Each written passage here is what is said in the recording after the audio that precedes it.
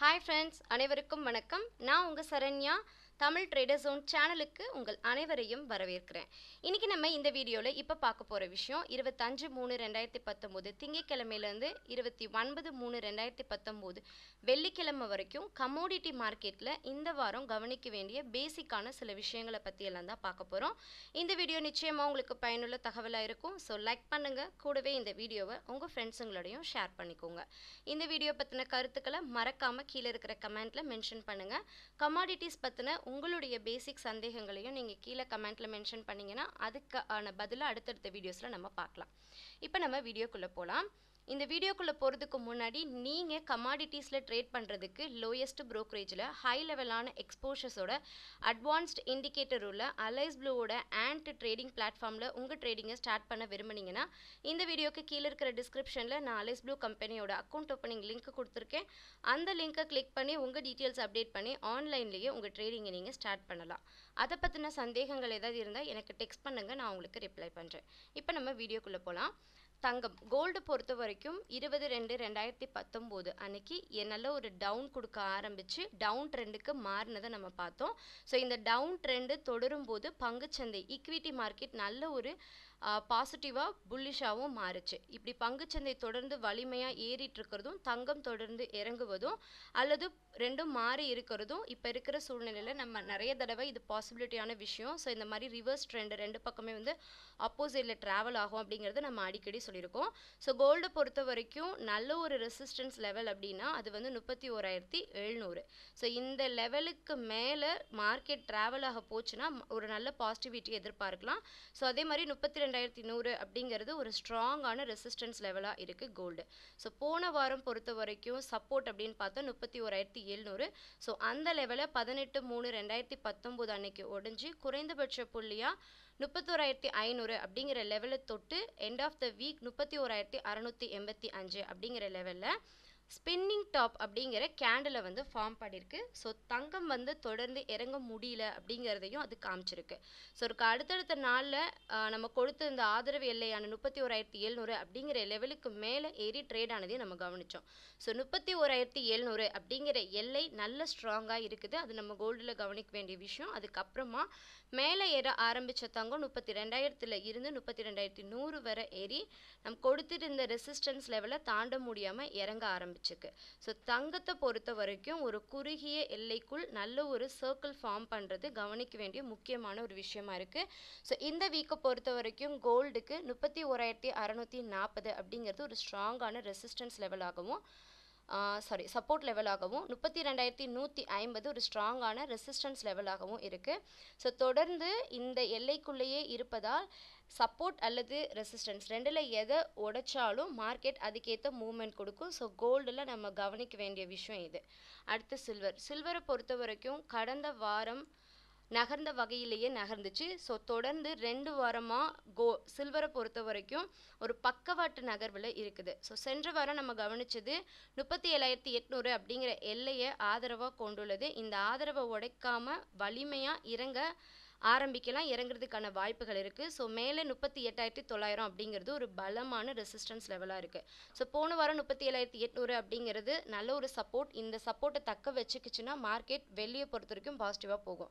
So போன வாரத்தை பொறுத்த வரைக்கும் முப்பத்தி ஏழாயிரத்தி எட்நூறு அப்படிங்கிறத உடச்சி முப்பத்தி ஏழாயிரத்தி எழுநூற்றி எண்பது வரைக்கும் போயிருந்தாலும் முப்பத்தி ஏழாயிரத்தி எட்நூறை தாண்டி மேலே ஏறிச்சு. ஸோ இதோட ரெசிஸ்டன்ஸ் லெவல் நல்ல ஒரு ஸ்ட்ராங்காக இருக்குது முப்பத்தி எட்டாயிரத்தி தொள்ளாயிரம் அப்படிங்கிற லெவலை தாண்டலை. அதுவும் கவனிக்க வேண்டிய விஷயமா இருக்குது இருக்கு.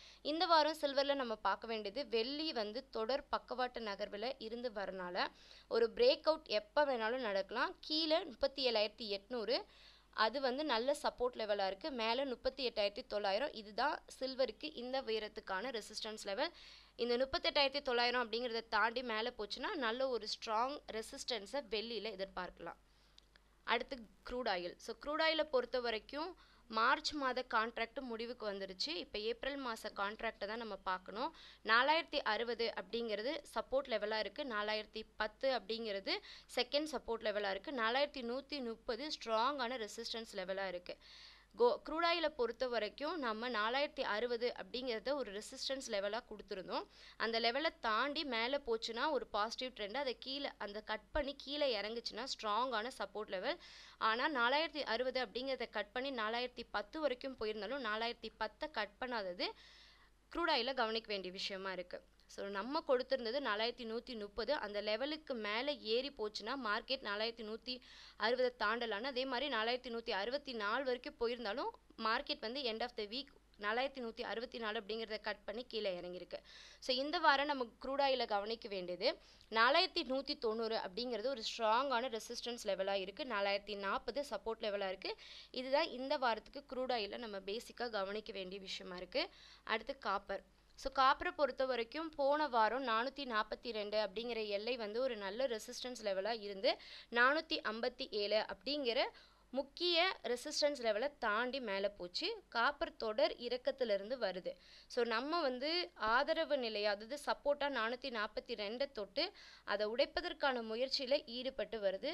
நானூற்றி ஐம்பத்தி ஏழு அப்படிங்கிற லெவலை தாண்ட முடியல. ஸோ காப்பரோட வலிமை வந்து நல்ல ஒரு டவுன் கொடுத்துட்ருக்கிறது காப்பரில் கவனிக்க வேண்டிய விஷயமா இருக்குது ஸோ இந்த வாரத்துக்கு crude ஆயிலுக்கான resistance and support level pivot level பார்த்தோன்னா கோல்டு மினியை பொறுத்த வரைக்கும் முப்பத்தி ஓராயிரத்தி தொள்ளாயிரத்தி பன்னெண்டு அப்படிங்கிற லெவலில் முப்பத்தி ஓராயிரத்தி எழுநூற்றி முப்பதுக்கு மேலே சப்போர்ட்டும் முப்பத்தி ஓராயிரத்தி நானூற்றி ஏழுக்கு மேலே செகண்ட் சப்போர்ட்டும் இருக்குது ஏப்ரல் மந்த்து கான்ட்ராக்டில் முப்பத்தி ரெண்டாயிரத்தி இரநூத்தி முப்பத்தி அஞ்சு ஸ்ட்ராங்கான ரெசிஸ்டன்ஸ் லெவலாக இருக்குது அந்த ரெசிஸ்டன்ஸ் லெவலை கட் பண்ணுச்சுன்னா முப்பத்தி ரெண்டாயிரத்தி நானூற்றி பதினேழு.